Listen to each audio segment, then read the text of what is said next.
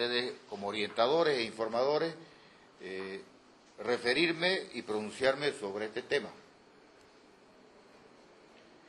Durante el último proceso electoral sufrimos una campaña antidemocrática, donde se manifestaba que no se trabajaría con autoridades electas de oposición al gobierno nacional.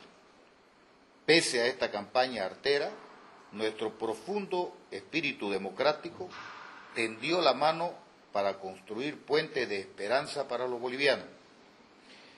En mi plan de gobierno he propuesto relaciones dignas y firmes con el gobierno nacional, relaciones de respeto mutuo.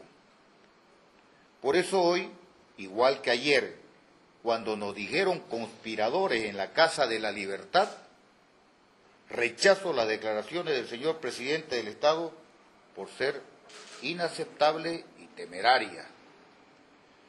Mi condición de hombre de bien y la confianza de más de medio millón de ciudadanos depositados en las urnas me obligan a emplazar al presidente del Estado a demostrar con pruebas de que este ex prefecto y ahora reelecto gobernador de Santa Cruz es corrupto, que demuestre que he robado un solo boliviano de los recursos públicos.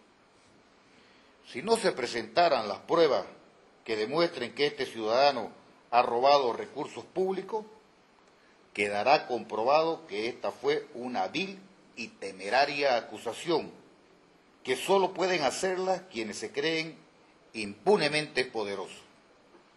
Esta es una señal clara que nuevamente quieren convulsionar al país, quieren enfrentarnos entre hermanos bolivianos. Necesitan inventarse enemigos imaginarios para que la confrontación se apodere de la patria. Quieren esconder los verdaderos problemas subsistenciales que vive y que viven todos los bolivianos hoy en día. Problemas que se que problemas inocultables como el encarecimiento de la canasta familiar, el crecimiento sin control del narcotráfico y esta espiral malvada y perversa de inseguridad ciudadana que hay en nuestro pueblo. Hoy nuestra preocupación debe estar abocada a la seguridad alimentaria de nuestros compatriotas y luchar contra el flagelo del narcotráfico y de la inseguridad. Para eso necesitamos políticas de Estado y no ataques a quienes se atreven a denunciar el crecimiento de estas lacras sociales.